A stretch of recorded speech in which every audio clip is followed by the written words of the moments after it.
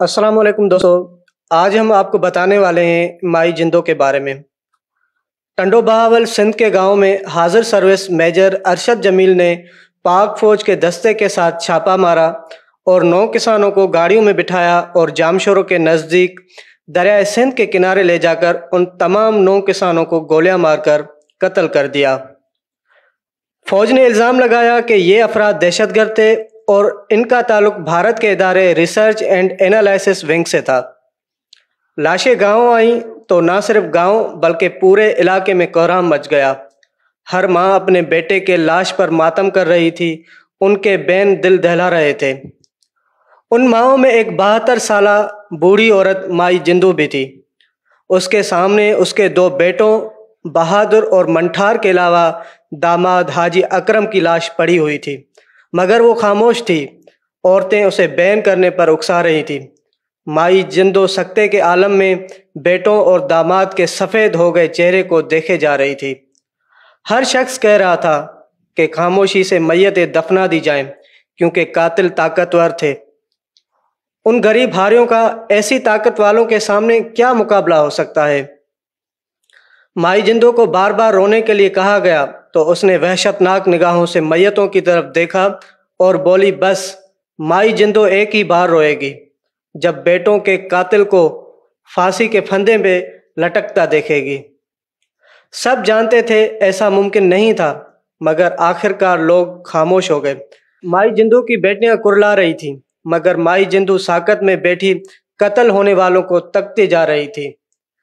جنازے اٹھے تو مائی جندو نے سر کی چادر کمر سے باندھی، سیدھی کھڑی ہوئی اور لہو ہوتے جگر کے ساتھ بیٹوں کو الوداع کیا۔ مسئلہ یہ تھا کہ یہ ٹنڈو بہاول اندرونی سندھ کا ایک دور دراز گاؤں تھا اور تب دریائے سندھ کے اس کنارے پر قتل ہونے والوں کی ویڈیو بنانے کے لیے موبائل کیمرہ بھی نہیں آیا تھا۔ ملک اور سندھ بھر میں خبر چلی کہ دشمن کے ایجنٹ مار کر ملک کو بڑے نقصان سے بچایا گیا ہے۔ جس نے پڑھا، سنا، اس نے شکر ادا کیا۔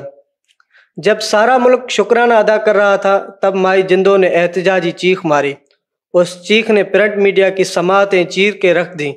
مائی جندو بوڑھی تھی، جسمانی لحاظ سے کمزور، مگر وہ تین مقتولوں کی ماں تھی۔ اس نے طاقت کے مراکز سے جنگ کا فیصلہ کیا اور اپنے دو بیٹوں کو ساتھ لے کر قاتلوں کے خلاف اعلان جنگ کر دیا۔ سوشل میڈیا کی غیر موجودگی میں یہ جنگ آسان نہ تھی، مگر نکارے بچ چکے تھے، کشتیاں جل چکی تھی اور واپسی محال تھی۔ اخباروں اور صحافیوں کے ہمراہ مائی جندوں نے اس چیخ کو طاقتی مراکز کے سینوں پہ گھوپ دیا۔ پہلی جھڑپ ختم ہوئی اور گرد چھٹی تو معلوم ہوا کہ قتل ہونے والے دہشت گرد نہ تھے، بلکہ میجر ارشد جمیل ان کے ساتھ زرعی زمین کا جھگڑا تھا، جس کی سزا میں انہیں قتل ہونا پڑا تھا۔ چوبیس جولائی انیس سو بیانوے کو جنرل آصف نواز اور نواز شریف نے ملاقات کی اور جنرل آصف نواز نے میجر ارشد جمیل کا کورٹ مارشل کرنے کا حکم دے دیا۔ انیس اکتوبر کو فیلڈ جنرل کورٹ مارشل نے میجر ارشد جمیل کو سزائے موت سنائی اور تیرہ فوجی اہلکاروں کو عمر قید کی سزا سنا دی۔ میجر نے پاک فوج کے سپہ سالار کو رحم کی اپیل کی جو چوبیس ستمبر انیس سو ترانوے کو مسترد ہوئی۔ اس کے بعد رحم کی اپیل صدر فاروق لگاری سے کی گئی، جو اکتیس جولائی انیس سو پچانوے کو مسترد تو کر دی گئی، لیکن سزا پر عمل درآمد روک دیا گیا۔ اس کے بعد میجر ارشد جمیل کے بھائی کی اپیل پر سپریم کورٹ کے جج سعید الزمان صدیقی نے حکم امتناع جاری کیا اور سزا کو روک دیا۔ سزائے موت پر عمل نہ ہونے پر گیارہ سپٹمبر انیس سو چھیانوے کو مائی جندو پھر میدان میں نکلی۔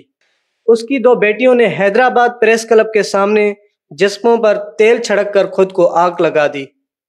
ان کو نازک حالت میں ہسپتال لے جایا گیا، مگر وہ بچ نہ سکی۔ پورے ملک میں ایک بار پھر کوہرام مچ گیا۔ بالآخر اٹھائیس اکتوبر انیس سو چھیانوے کو طاقت کی دیواریں مائی جندوں کے مسلسل دھکوں کے سامنے ڈھیر ہو گئیں۔ یہ حیدرآباد سینٹر جیل تھی جب مائی جندوں کو پھانسی گھاٹ پر لایا گیا۔ سامنے تختہ دار پر اس کے گاؤں کے نو بیٹوں کا قاتل میجر ارشد جمیل کھڑا تھا۔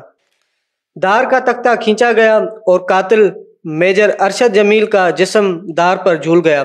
این اسی وقت سامنے کھڑی مائی جندو کی بوڑھی مگر زور آور آنکھ سے ایک اشک نکلا اور اس کے رخسار کی جھریوں میں تحلیل ہو گیا۔ مائی جندو، تمہیں دنیا کی تمام کمزور اور مظلوم لوگ سلام کرتے ہیں۔